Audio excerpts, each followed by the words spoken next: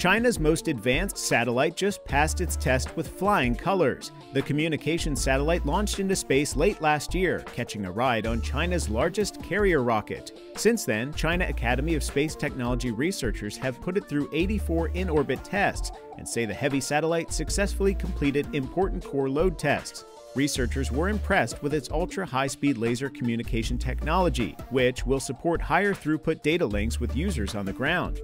According to a state run news agency, Chinese space officials say the satellite is capable of delivering 1 terabit per second bandwidth for ultra fast speeds.